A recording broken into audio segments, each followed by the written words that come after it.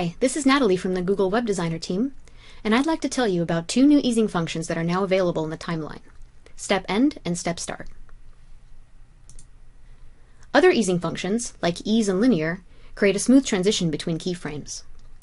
In this animation, you can see that the box's opacity changes smoothly and continuously from 0 to 1 between every pair of keyframes.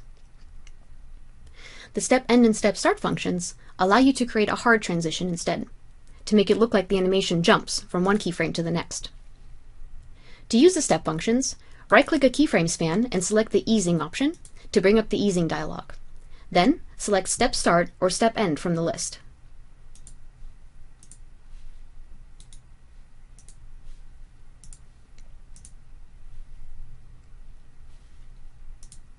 The step functions can be useful, for example, when you need to show or hide an element at certain times. In our updated animation, the step end function is used to make the box's opacity cut from 0 to 1 as each keyframe is reached, instead of smoothly fading between them. In quick mode, you can edit the easing between two thumbnails by clicking the easing icon between them.